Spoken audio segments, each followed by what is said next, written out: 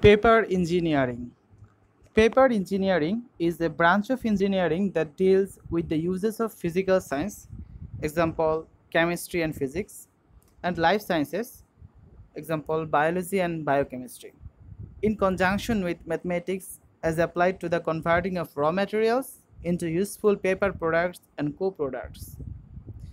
The field applies various principles in process engineering and unit operations to the manufacture of paper, chemicals, energy, and related materials.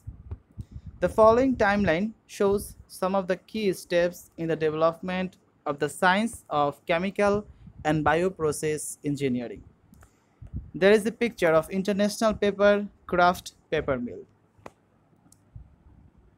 What does a paper engineering do? Pulp and paper engineers typically focus on the engineering aspects of the manufacturing process.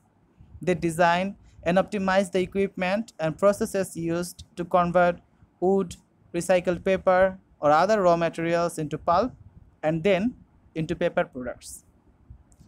What are some examples of paper engineering? Examples may include stop motion animation, architectural models, paper prototypes of games or apps, working prototypes used by engineers, recreate an item from around home using paper. From a heritage perspective, the field encompasses the design and analysis of a wide variety of thermal, chemical, and biochemical unit operations employed in the manufacture of pulp and paper and addresses the preparation of its raw materials from trees or other natural resources via a pulping process. Chemical and mechanical pre-treatment of this recovered biopolymer.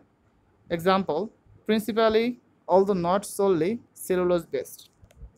Fibers in a fluid suspension, the high-speed forming and initial dewatering of a non-woven web, the development of bulk sheet properties via control of energy and mass transfer operations, as well as post-treatment of the sheet with coating calendering and other chemical and mechanical processes. So that's all about paper engineering.